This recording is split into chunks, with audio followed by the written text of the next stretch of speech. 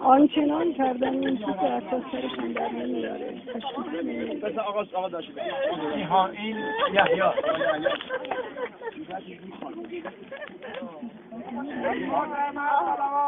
Oh!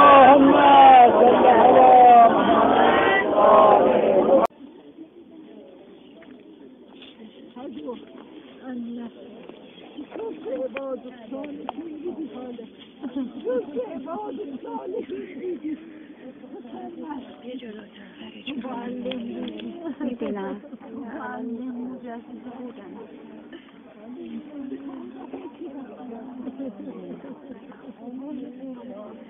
بسم الله الرحمن الرحیم والعصر ان الانسان لفی خسر الا الذين آمنوا وعملوا الصالحات وتواصوا بالحق وتواصوا بالصبر